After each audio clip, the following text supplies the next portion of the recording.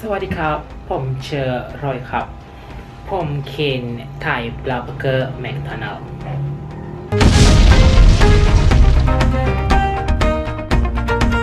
Whoa, doubt is a broken record that plays inside. Hai, Assalamualaikum Okey Okey, hari ini saya nak review burger McDonald yang terbaru Oleh kerana ramai dah review dan ada review kata sedap, ada review kata tak sedap Apa? Biar saya review saya nak tahu sendiri rasa dia Burger ni dijual dengan harga untuk ala carte RM12.99 dan untuk set berharga RM15.99 Roy Magmat maksud dia sangat sedap. Bahasa Thailand. Tapi sedap ke tidak? Ok kita nak buka. Kecilnya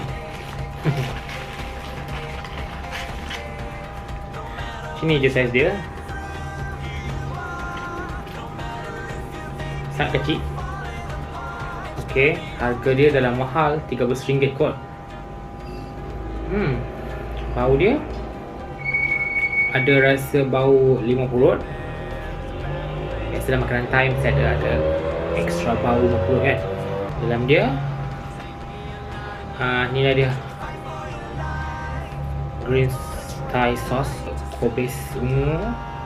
Kobis biasa. Ada carrot.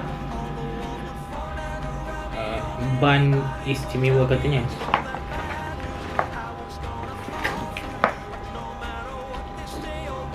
Cili ban dan juga ikan.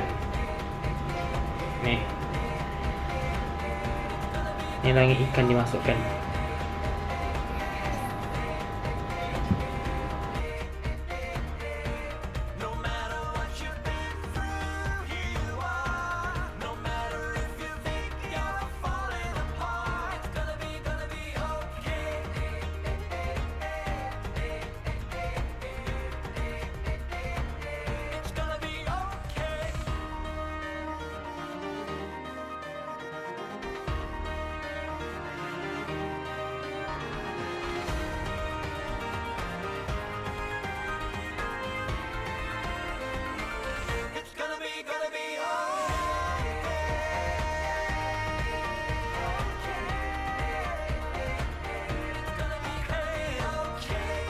sos dia memang sedap.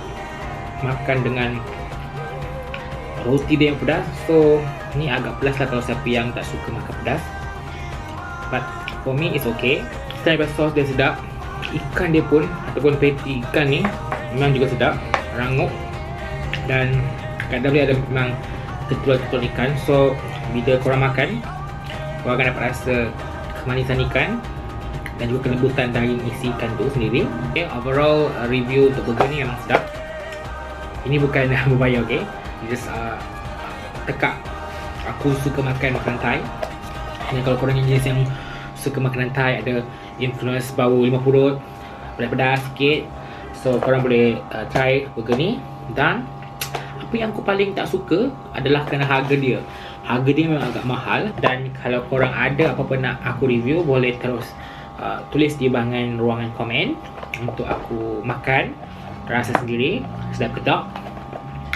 Uh, jangan lupa like eh page RCM Media YouTube RCM Media dan Instagram RCM Media